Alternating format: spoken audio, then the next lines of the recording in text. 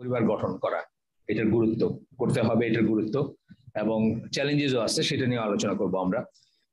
এখানে একটা বুঝার ব্যাপার হচ্ছে, ইসলাম হচ্ছে কালেকটিভিজমের দিন। আমি আগেও বলছি, যারা পুরান দিনে অনেকদিন, অনেক বছর আমাদের সাথে উঠেন বসেন, তারা হয়তো এই কথাগুলা মুখস্থ হয়ে গেছে শুনতে শুনতে। ইসলাম হচ্ছে কালেকটিভিজমের দিন। একা একা ইসলাম পালন করা যায় না। একজন আলেম একবার জুমার খুদ্া বলতেছিলেন যে মেহেদির কথা বলতেছিলেন যে, মেহেদির অনেক গুণাগুণ আমি বর্ণনা করলাম, কিন্তু এটা অ্যাপ্লাই করার মতো একটা হাত নাই। যে হাতে অ্যাপ্লাই করে দেখাই দেওয়া যাবে যে মেহেদি অ্যাপ্লাই করলে রংটা কি হয়, তাহলে এটা একটা কমপ্লিটলি বায়োবিও বা থিওরিটিক্যাল কথা থাকল। কিন্তু যদি আমি যদি আমি অ্যাপ্লাই করে দেখাইতে পারতাম যে এইভাবে মেহেদি অ্যাপ্লাই করলে এরকম রং হয় বা এরকমই হয় হাতের, তাহলে যেটা হইতো যে রেডিলি কেউ বুঝতে পারতো এটার গুণাগুণ কি। একই ব্যাপার ইসলাম নিয়ে অনেক অনেক আলোচনা করতে পারি, আমরা থিওরিটিক্যাল লেভেলে অনেক আলোচনা করতে পারি, কিন্তু যতক্ষণ পর্যন্ত এটা অ্যাপ্লাই করার ক্ষেত্রটা নাই আমাদের অথবা অ্যাপ্লাই করতে পারতেছি না। ততক্ষণ পর্যন্ত এটার গুণাগুণ কেউ উপলব্ধি করতে পারবে না। ইসলাম হচ্ছে কালেকটিভিজমের দিন, যেটা বললাম যে আপনি একা একা ইসলাম পালন করতে পারেন না। আপনার জন্ম থেকে নিয়ে মৃত্যু পর্যন্ত আপনি খেয়াল করলে দেখবেন যে প্রতিটি ঘটনা, প্রতিটি ইম্পর্টেন্ট জিনিস হচ্ছে কালেকটিভ বা সম্প্রদায় ভিত্তিক, সমা বা একটা কমিউনিটি ভিত্তিক জিনিস। আমরা যে এই এই এই স্কুলটার নাম অথবা এই অর্গানাইজেশন নাম ইসলাম ইনস্টিটিউট ফর কমিউনিটি ডেভেলপমেন্ট বা school for community community development বলছি, এটার সিগনিফিকেন্স আছে। কমিউনিটি ডেভেলপ করতে না পারলে আপনি ইসলাম, ওই হাত ছাড়া মেন্দির গল্প হবে আর কি, আপনি অ্যাপ্লাই করার কোনো জায়গা থাকবে না।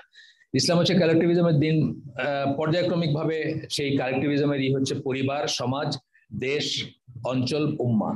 পরিবার, তারপরে বাইরে দিকে গেলেন সমাজ, তারপর একটা দেশ, একটা অঞ্চল হইতে পারে, তারপরে হচ্ছে উম্মা। মানে কালেকটিভিজমের ভিতর থেকে বাইরের দিকে যদি যান আপনি।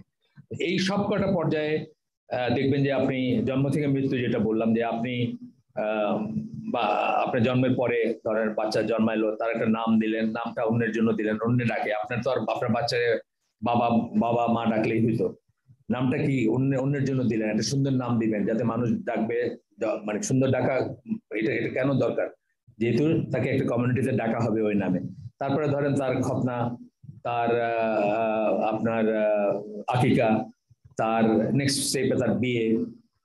যত কিছুতে দেখবেন, তার ইবাদতগুলা দেখেন পাচক সালাদ সে মসজিদে পড়বে, তারপরে ঈদ বলেন, তারপর হজ বলেন, প্রত্যেকটা জিনিস হচ্ছে কালেকটিভিজম একটু খেয়াল করলে দেখবেন যে প্রত্যেকটা হচ্ছে সবার সাথে মিলে করবেন আপনি। আপনার একটা সম্প্রদায়ভুক্ত হবেন, একটা কমিউনিটিভুক্ত হবেন, সবার সাথে মিলে করবেন। একা একা ইসলাম পালন করা যাবে না।